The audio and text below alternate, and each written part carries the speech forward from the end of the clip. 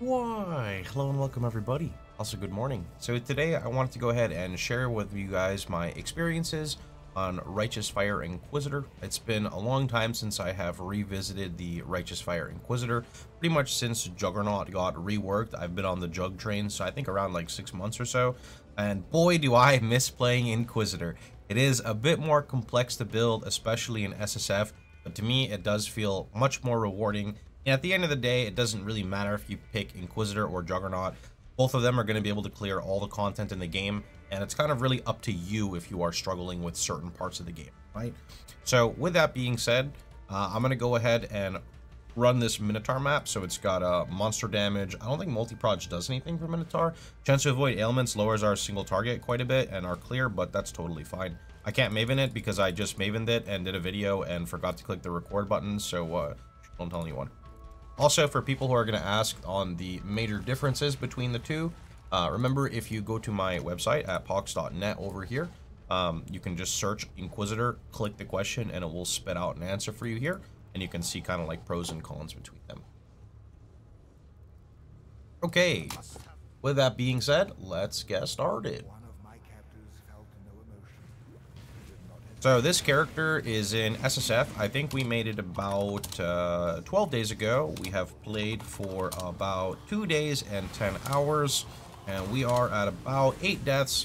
Um, a lot of the deaths could have been avoidable. You know, I kind of just play casually, so um, whenever we're doing stupid stuff, there's a good chance that we die. We've also acquired all of our Void Stones, including Uber Elder. Uh, was deathless, so I was pretty happy with that. Did about five Mavens until I got my Legacy of Fury. Now I'm running a map that makes them avoid the Legacy of Fury effect, so you can't even see it. Feels good, man.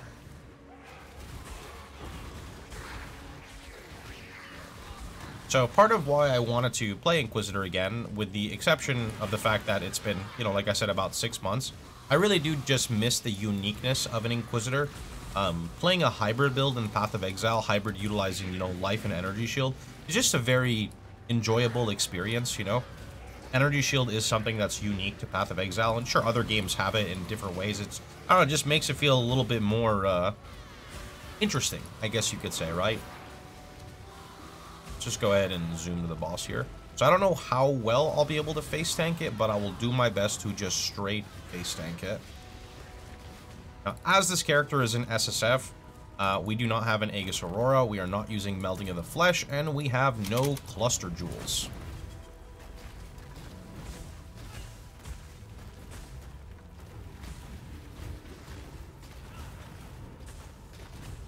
Yeah, the you can see the map mod is really dicking my damage here because I can't shock him. Oh, there's a shock. Wait, 50% shock? Did I just 50% shock Minotaur? Wait, what? I'm actually... Somebody's going to have to figure that one out for me. I don't know how I just applied a 50% shock, but uh, that's a thing. Okay, so let's go ahead and talk about the character. So first, I'm going to hover over the gear, and then I'm going to go ahead and show you my skill tree, because there are a few modifications from the standard uh, standard version. By standard, I mean like regular version, not like standard league. Okay, so first I'm going to address the, the big thing here. I got an ashes off of my first eater kill. Um, you do not need ashes for this whatsoever. In fact, I am using it terribly um, somewhat intentionally because I want to mimic stuff. I could have just unequipped it and redid some gear, but that's a lot of work. Basically, uh, what I'm using the ashes for is just not specking this right here. Um, it's not really that big of a deal. Uh, in reality, I could just get a new amulet. So say I had a plus one gems amulet with a little bit of damage over time multi or fire damage. I could just allocate charisma because that's what I would want to do late game anyway. So Ashes is not really giving me much of a benefit right now, so you don't have to worry about that too much. Okay, so with that being said, let's talk about the gear here. So we're level 97. I picked up my weapon off the floor. I unveiled it, so it's got good fire damage, implicit or uh, good fire damage prefix, and then double dot multi. I'm also not using Crucible to my advantage intentionally. I have like very minor things with Crucible. So here we have like Onslaught on the weapon, but realistically you could get a Brutal Restraint for Onslaught and I'm gaining like 60 dex here, but my gear is not amazing, so I could make this up very, very easily. So over here, I've got Blood Rage, Tempest Shield, and Frost Blink. Um, Frost Shield is crazy strong with Inquisitor because of their energy shield recovery. It's basically another defensive layer while you are fighting bosses or tanky targets. For as long as you're in this Frost Shield, you take reduced damage from targets in it and targets shooting out. So very, very underrated, and I can't believe I forgot about this for Inquisitor. Over here with our helmet, we harvest crafted it, so basically reforge fire on Elder Helm until Conk Burn, and we've got Fire Trap, Trap and Mine, Combustion, Life Tap.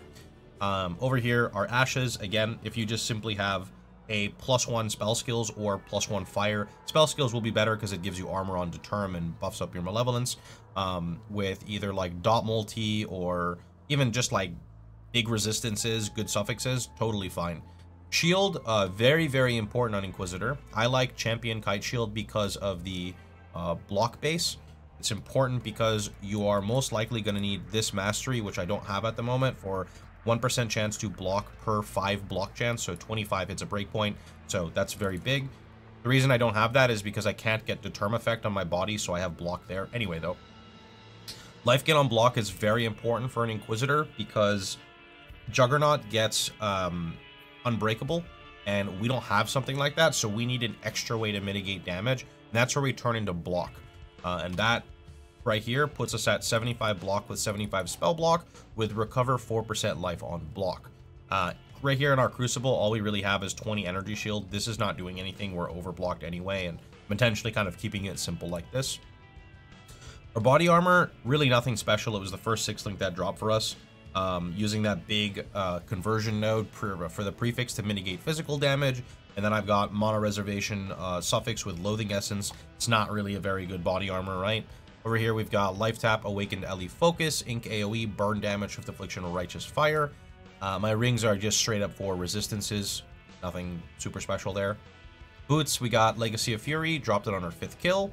Um, Ele Weakness here only because of Ashes, otherwise you'd use Flammability faster attacks, life tap, and shield charge. And then on our gloves, I've got Frost Shield, Molten Shell, Life Tap, and Infernal Cry. Oh, that was Tempest Shield up here. That's funny when I gave the explanation.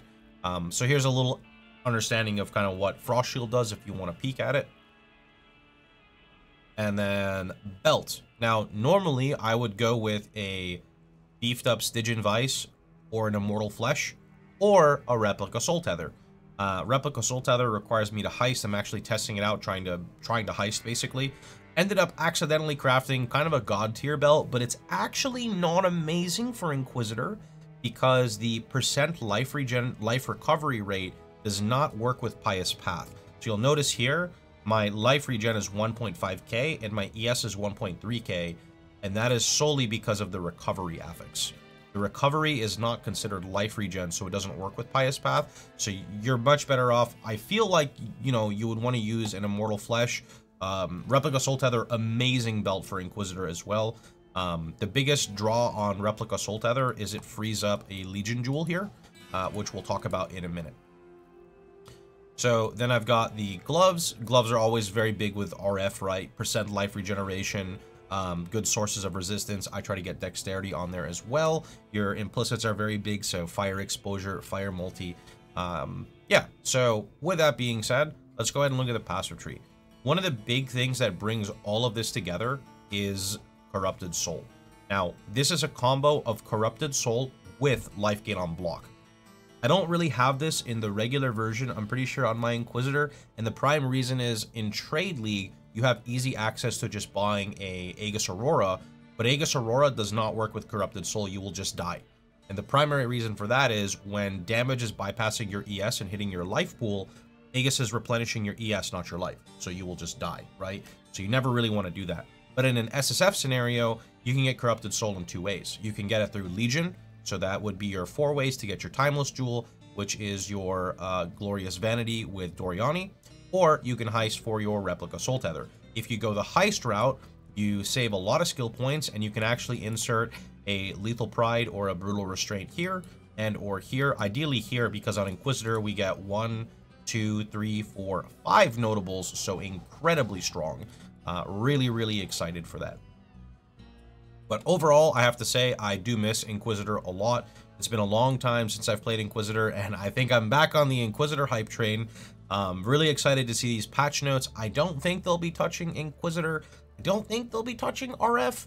maybe they touch Fire Trap for like the 17th time. Only time will tell, right? Not really much else we can do there. Um, so yeah, that's pretty much about it. Very excited, super excited to play this character. Um, another thing about it is for Sanctum League, right? Sanctum League uh, wants you to do a little bit more damage, so Inquisitor will have a bit of an edge there, um, since you get a bit more damage than Juggernaut in those early and mid stages of the game. So for people wanting to squeeze more damage in Sanctum but still play RF, Inquisitor is definitely going to be your boy.